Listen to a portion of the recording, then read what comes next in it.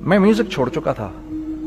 सोचता था कि क्या करूँ क्या करूँ, अब क्या काम करूँ, क्या काम करूँ। और एक स्टेज मेरे पे ये आ गई कि मैंने आखिरी सौ रुपए निकाल के अपनी बीवी को दिए, जो मेरे पास आखिरी सौ रुपए थे। और मैंने कहा, कल मुझसे न मांगना कुछ, अब मेरे पास कुछ नहीं है। आई हैव नथिंग बस, ऊपर अल्लाह है, नीचे बस, ये हालात है।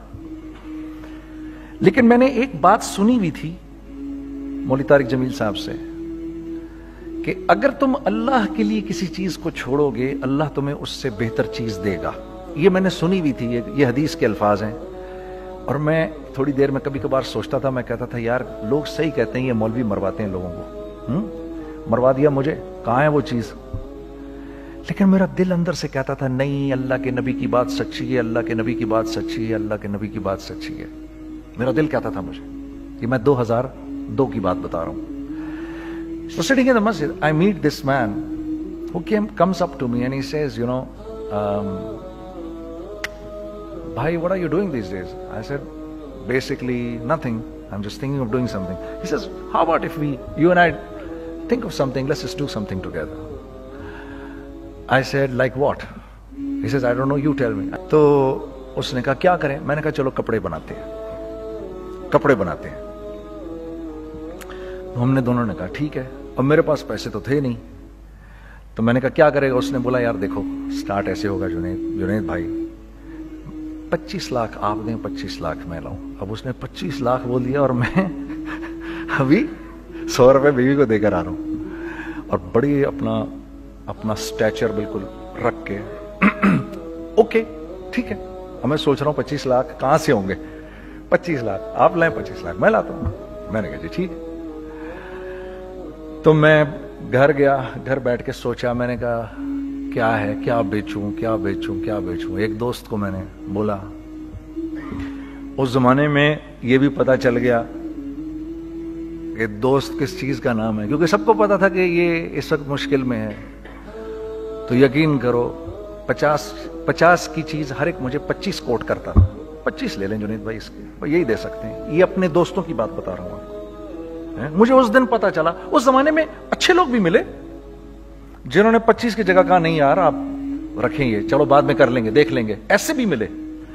लेकिन ऐसे भी मिले कि जिन्होंने एक्सप्लॉयड करके मेरी कमर ही तोड़ दी। इस वक्त जो कर सकते हैं इस आदमी के साथ करें क्योंकि ये सब परेशानी में है। तो, तो मैंने जाके कहीं से इसको बेचा उसको बेचा ये बेच दिया वो बेच दिया सब बेच बचा के उसको जाकर 25 लाख रुपए किसी तरह करके दिए। मैंने कहा, मुझे एक हफ़्ते का टाइम दे आप। एक हफ़्ते बाद मिलते हैं। एक हफ़्ते बाद 25 लाख उसने रखे 25 लाख मैंने रखे और 50 लाख रुपए का हमने कपड़ा खरीद लिया और अभी रमज़ान आने वाला था। तो मेरे दोस्त ने कहा कि चलो, इसके पैटर्न बनवाते हैं। अब मैं आपको बताता हूँ कि रिज्क किसके हाथ में है। वो जो पैटर्न काटा तो पैटर्न छोटा कट गया। 25 लाख रुपए गए और मैं सर पकड़ के बैठ गया और मैं कहूँ, या अल्लाह, ये मुझे किसी क्या गुना की सजा मिल रही है? ये क्या है? कि हम दोनों बैठे हुए, उसने भी सर पकड़ के बैठा हुआ, मैं भी सर पकड़ के बैठा हुआ। वो तो खैर अमीर आदमी था, थोड़े उसके पास तो पैसे थे। मैंने उसको, मैंने कहा, यार, अब क्या करें? कहता है, यार, फ़िक्र ना करें, कुछ देखते हैं। अब आई नो कि कुछ नहीं होने लगा। तबाही है तो कोई भी नहीं खरीदेगा इसको। लार्ज मीडियम बन गया मीडियम स्मॉल बन गया और स्मॉल तो इतना स्मॉल बन गया कि हैं? वो फिटेड हो गया। कि एक साहब मिल, मिलने आए हमें कि जी वो देखिए एक पार्टी आई है बांग्लादेश से उनको शलवार कमीज चाहिए। लेकिन जुनेद भाई उनकी रिक्वेस्ट है पैटर्न थोड़ा छोटा कर दें। मैंने कहा यार देखो तुम्हें पता है छोटा पैटर्न जरा मुश्किल से कटता है। ठीक है? थोड़े पैसे एक्स्ट्रा होंगे उसके। उन्होंने कहा हाँ हाँ वो पैसों का तो कोई मसला ही नहीं, उनको तो बस शलवार कमीज चाहिए पाकिस्तान से। हमने कहा, ठीक है, आप दो दिन बाद आके ले लीजिए। तो वो जो चीज़ अल्लाह माफ़ करे, आज जो आप लोगों से शेयर कर रहा हूँ, जो चीज़ पाँच सौ रुपए की बेचनी थी, वो छह सौ रुपए की बेच दी। जो चीज़ पूरे महीने बेचनी थी, दो दिन में बेच बाज के, पूरे रमज़ान जो बेचना था, सब बेच बाज के बैठ गए दोनों के। अब क्या करें? सब बिक गया और पैसे आ गए। अब मैं ये देख रहा हूँ कि ये कुछ अल्लाह का क्या अजीब निज़ाम चल रहा है। तो मैंने उसको अपने साथी से कहा, देखो, तुमने मेरे साथ आगे भी काम करना है या बस एक यही काम करना है? उसने कहा मैंने आपके साथ आगे भी काम करना है। मैंने कहा तो चलो फिर मुफ्ती तकी उस्मानी साहब के पास। उनसे पूछो, हम काम करें तो किस तरह करें? हम दोनों मुफ्ती तकी साहब के पास पहुँच गए। मुफ्ती साहब के पास बैठे। अच्छा मैं मुफ्ती साहब से मेरा ताल्लुक था। इनको भी जानते थे मुफ्ती साहब। तो मुफ्ती साहब कहने लगे, भाई, तीन काम करो। पहला काम, ये लिखो ये कारोबार खत्म कैसे होगा? ये जे डॉट खत्म कैसे होगा? ये लिखो पहले। दूसरा काम, पहला काम ये सबसे आसान है। अब इससे और मुश्किल काम वो ये कि अजम करो इस बात का, एक दूसरे को धोखा नहीं दोगे। तुम दोनों। ये उससे मुश्किल काम। कहा, और अब तीसरा सबसे मुश्किल काम, ये नियत करो कि इस कारोबार से तुमने लोगों को नफा पहुंचाना है, फ़ायदा पहुंचाना है। अगर ये तीन काम तुम लोगों ने कर लिए तो तुम दोनों का तीसरा पार्टनर अल्लाह हो जाएगा। हम्म तो सबसे पहला काम ये किया हमने। मैंने उसको बोला, कुरान पे हाथ रख के देख, अल्लाह ने चाहा, मैं तुझे कभी धोखा नहीं दूँगा। उसने कहा, अल्लाह ने चाहा मैं भी आपको कभी धोखा नहीं दूँगा। ये आज से पंद्रह साल पहले की बात है। फिर दिनों रात बैठकर हम ये सोचते थे कि हम लोगों को फ़ायदा कैसे पहुंचाएँ। हमने एक कपड़ा बनाया। वो कपड़ा कॉटन का। सबसे पहला काम जो हमने किया, वो ये किया कि ये जो मरावा एक निज़ाम था खड़ियों का, इसको ज़िंदा किया।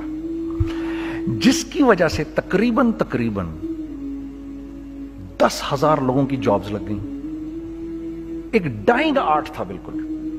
ये खड़ियों का कपड़ा ऐसा ही है जैसे हैंडमेड शू और हैंडमेड क्लॉथ ठीक है ना?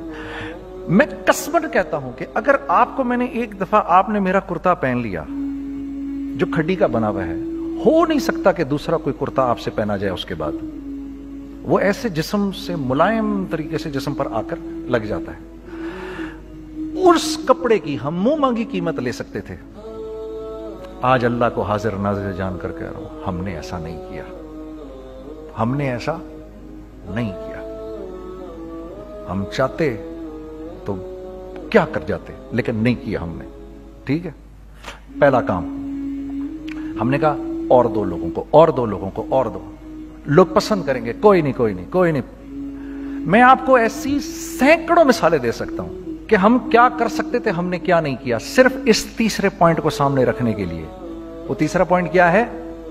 लोगों को नफा पहुंचाना। क्योंकि हम नहीं चाहते कि हमारा तीसरा पार्टनर हमको छोड़ के चला जाए। मैं आपको क्या क्या बताऊँ? तीसरे पार्टनर ने क्या क्या कुछ किया? पिशावर पहुँचे मैं और मेरा साथी। मैं आपके सामने वो एक्सपीरियंसेस आपकी तकवीत के लिए बता रहा हूँ। आप अपनी कोई बड़ाई नहीं बता रहा, आपकी तकवीत के लिए बता रहा हूँ कि कल जब आप ऐसे करेंगे ना तो घबराना मत। हम कहते हैं मल्टीनेशनल आए, हमारे मुल्क में बहुत अच्छी बात है आए। इसमें क्या है? लेकिन यार, हम में खुद में क्या कमी है? आप मुझे ये बताओ।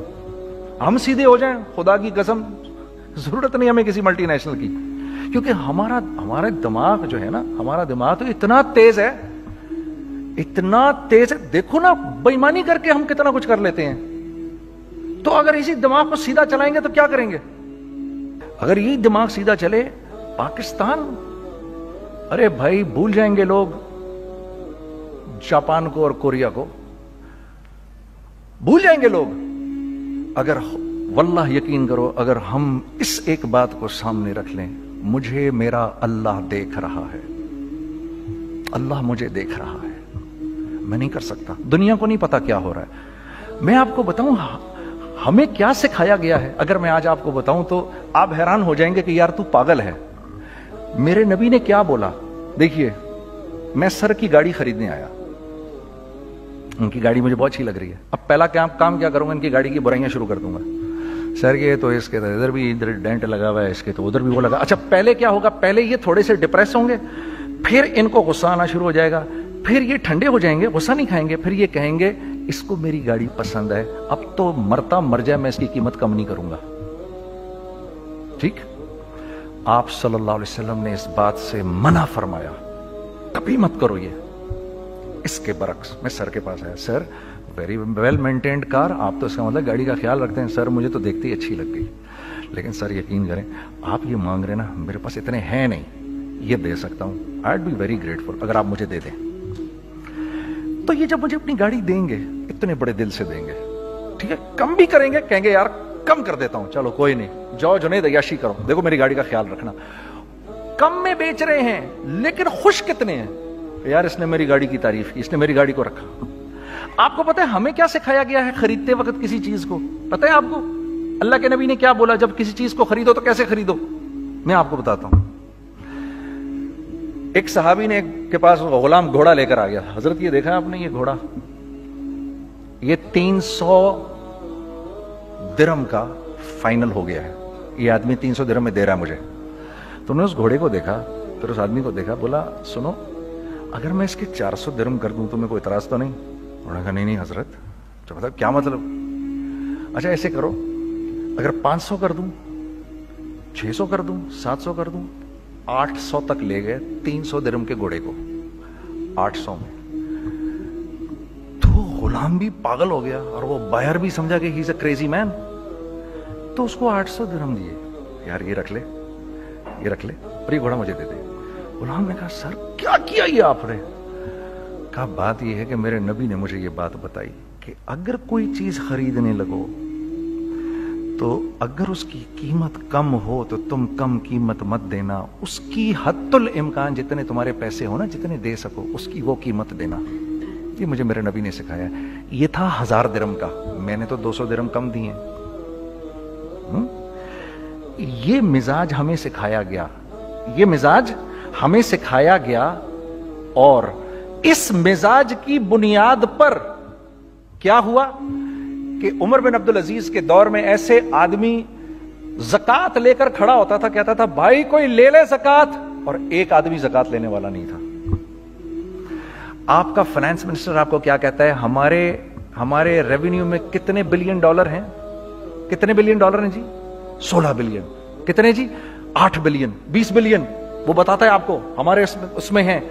सैयदना उमर सैयदना उस्मान, सैयदना अली के दौर में, जबकि मुसलमानों की खुशहाली अपने उरूज पे थी, रोज़ाना बैतुल माल में झाड़ू फिरता था। पूरा झाड़ू मार के दे देते थे लोगों को, साफ़ कर देते यहाँ यहाँ यहाँ पर सक्सेस का मैार क्या है? 16 बिलियन है हमारे अकाउंट के अंदर। और आइए मैं आपको लेके चलता हूँ एक ऐसे आदमी के घर पे। जिसके पाँच बच्चे हैं पंद्रह सौ रुपए महीना उसको मिलता है। उन पाँच बच्चों में उसने अपनी ज़िंदगी गुजारनी है। ऐसा एक दो नहीं है। मैं आपको लेके चलता हूँ। चले मेरे साथ। ऐसे एक दो नहीं है। ऐसे हैं सैकड़ों भी नहीं। हज़ारों। हज़ारों हैं ऐसे। हम्म? फला बैंक बता रहा है आ, अरे यार हमारी सक्सेस देखो। ढाई बिलियन है हमारे अकाउंट के अंदर। भाई, ढाई बिलियन तेरे अकाउंट में होना क्यों चाहिए? गिनती के तुम छह, चार, पचास, साठ, दो सौ, ढाई सौ तो लोग हो तुम लोग। ढाई सौ बिलियन तुम्हारे अकाउंट के अंदर है। ढाई सौ मिलियन तुम्हारे अकाउंट के अंदर। ढाई सौ बिलियन तुम्हारे अकाउंट के अंदर है। क्यों भाई? क्यों है तुम्हारे अकाउंट के अंदर? ये निकल के माशरे में क्यों नहीं जा रहा?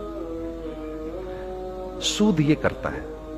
कुछ गिने चुने लोगों के पास पैसा आ जाता है। माशरे में। और माशरे की का खून और हड्डियाँ सब बाहर निकल जाती हैं लोगों के जिस्मों से।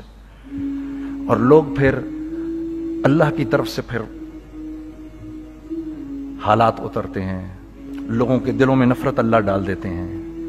लोगों के लोगों के दिलों के अंदर खुदगर्जी आ जाती है। ये आसमान से फैसला होता है।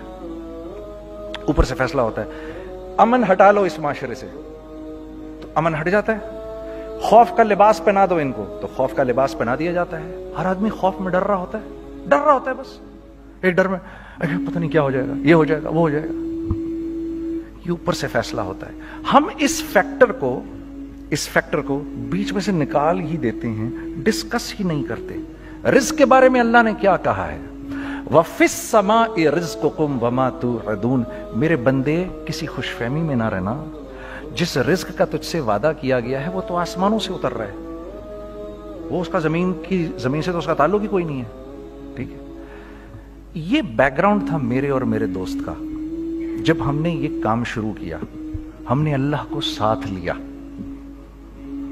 ऐसे एक बैग मेरे हाथ में था, एक बैग उसके हाथ में था, और पिशावर की गलियों में हम फिर रहे थे कि कोई हमारे कपड़े को रख ले, कोई हमारे कपड़े रखने को तैयार नहीं था। तो कराची हैदराबाद पिशावर में एक सड़क है अरबाब रोड। उसके ऊपर इधर भी दुकानें हैं, इधर भी दुकानें हैं। तो हम अरबाब रोड पे ऊपर नीचे ऊपर नीचे दोनों फिर रहे थे कि कोई हमारे कपड़े रख ले ईद के दिनों में। कोई रख नहीं रहा था। एक बैग, दो दो बैग हम दोनों ने पकड़े हुए। हम सड़क पे फिर आखिर ऐसे थक के खड़े हो गए कि क्या करें अब, क्या करें?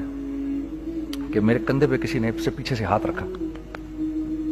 मैंने से पीछे मुड़ के देखा तो मैंने देखा एक हाँ साहब खड़े हम से तुम इधर क्या कर रहे हैं? मैंने कहा, जी, लाला, कुछ नहीं, मैं तो ऐसे दुकानों को, कपड़े शपड़े, सुनो, मेरा बाप तेरे को बड़ा पसंद करता है, जरा मेरे साथ आ।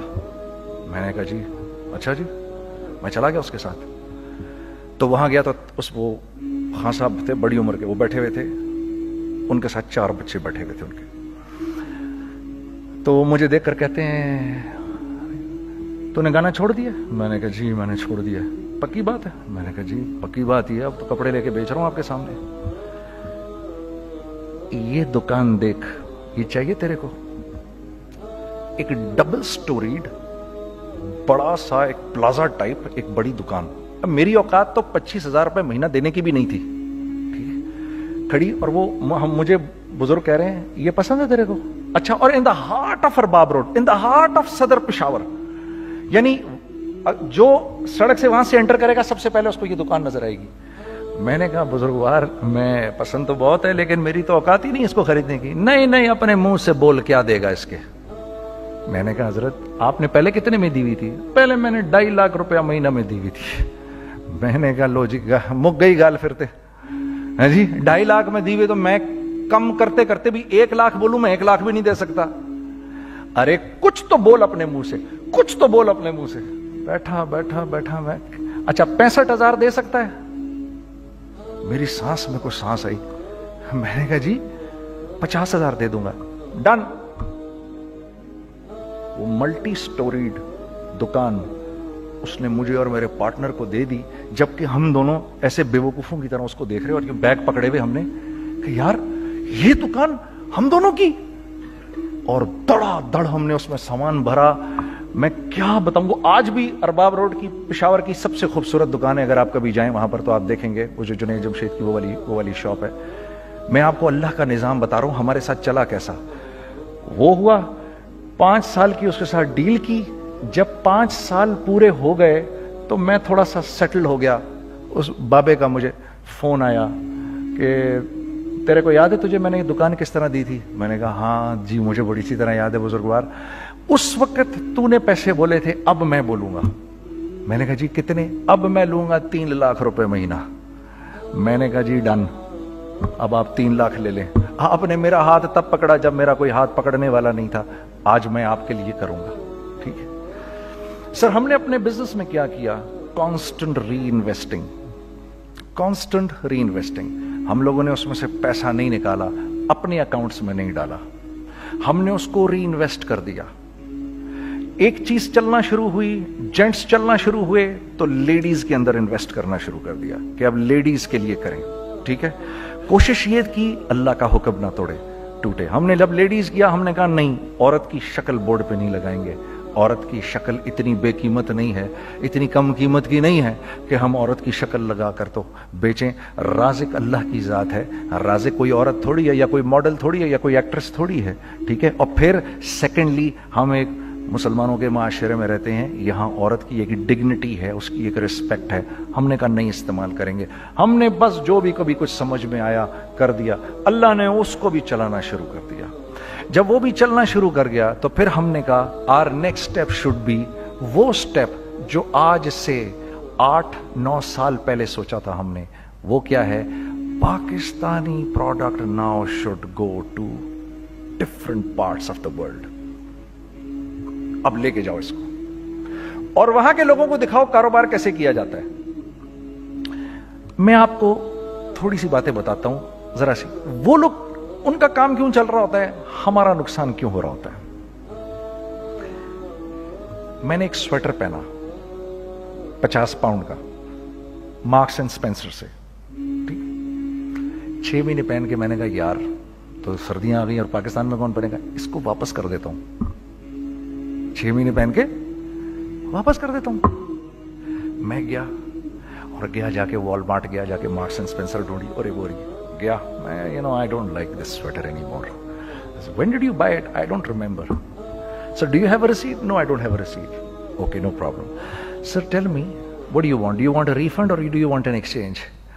Uh, I'd rather have a refund. ठीक है पचास पाउंड लिए उससे। जेब में डाले और अब बाहर निकल रहा हूँ। ये कहते हुए, क्या कहते हुए? यार कैसा फुद्दू लगाया इसको। हाँ? ठीक है जी? ठीक है? ये देखो मैंने क्या किया।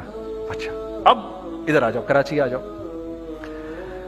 कराची आ जाओ तो अब मैं अपनी दुकान पर बैठा हूँ तारिक रोड पर। इकबाल साहब आ गए खरीद फरोख्त करने के लिए मेरे पास। अब मैंने इनको देखा था इधर आईसीएमए के प्रोग्राम के अंदर। मैं तो देखते ही पहचान गया इनको। ठीक है जी। आइए आइए आइए इकबाल साहब मैंने कहा मोटी असामी आ रही है। आइए आइए आइए, तशरीफ़ लाइए तशरीफ़ लाइए, तशरीफ़ आइए, सर, कैसी तबीयत? ठीक ठाक? आओ भाई, लड़कों, आओ, मैं भी साथ चलता हूँ। मैं यार को पच्चीस, तीस हज़ार तो खुले कराऊं इसके। ये भी लीजिए, ये भी लीजिए, ये भी अरे, ये भाभी के लिए देखिए, ये देखिए ये देखिए, कर, करा के आठ, दस बैग बना दिए इनके। पच्चीस, तीस, पैंतीस, चालीस, जो भी इनका। करवा दिया। ये खुशी खुशी लेके चले गए। अगले दिन, मैं उसी टिल पे बैठा हूँ। अगर इनको मैं देखता हूँ एंटर करते हुए और इनके हाथ में बैग देखता हूँ, आपका क्या ख्याल है ये उन बैग्स के साथ क्यों आए हैं? बताएँ जरा। देखिए, आप तो इस काम को करते नहीं, फिर भी आप कह रहे हैं, वापस करने आए हैं। मैं तो इस काम को करता हूँ। मुझे नहीं पता होगा कि ये वापस करने आए हैं। अब मुझे पता है, यार, ये वापस करने आए हैं।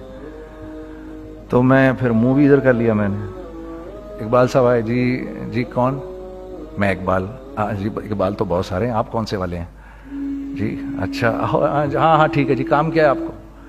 मेरी हत्तुल कोशिश होगी, इनको इनके पैसे वापस ना करूँ। ठीक है जी? अब आप मेरी दुकान, और ये जाएँगे एक टूटे हुए दिल के साथ। ठीक है? कुछ पूरी कोशिश होगी, इनके पैसे वापस ना करूँ। अब आप मेरी दुकान का साइज़ देख लीजिए, और आप वॉलमार्ट का साइज़ देख लीजिए, जहाँ वापस होता है। अब आप बताओ हाँ। अब आप मुझे बताइए, किसका कारोबार चलेगा, मेरा या उनका? मैं एक दुकान पर पहुँचा, यहीं पर मेरी नज़र पड़ गई। खरीदा हुआ माल वापस नहीं लिया जाएगा। खैर, मेरा तो इरादा नहीं था उसको वापस करने का तो मैं उससे चीज़ें ले रहा था। मुझे कहा, जुनेद भाई, आप तबलीग में जाते हैं। जरा दुआ करिए मेरे लिए, मेरा कारोबार चले। मैंने कहा, चल, अगर मैं कसम खा लू, अल्लाह की तेरा कारोबार चलेगा, फिर? है? वो कैसे? मैंने कहा, ये बिल्ला उतार दे ऊपर से। कहता, जी, ये तो नहीं उतर सकता। मैंने कहा, फिर वो भी नहीं हो सकता। हम क्या अल्लाह से मांगते हैं? या अल्लाह पहले सब मामले ठीक कर दे, फिर हम सीधे होंगे। और अल्लाह के यहाँ क्या है? पहले तुम खुद ठीक हो जाओ, हम तुम्हारे सारे मामले ठीक कर देंगे। मैं बात खत्म करता हूँ। वमयतल्लाह मखरजा वयरजुकमिन अरे मेरे बंदे सबको छोड़, मुझसे डर के ज़िंदगी गुजार। मैं तेरी हर मुश्किल दूर कर दूँगा और रिज्क तुझको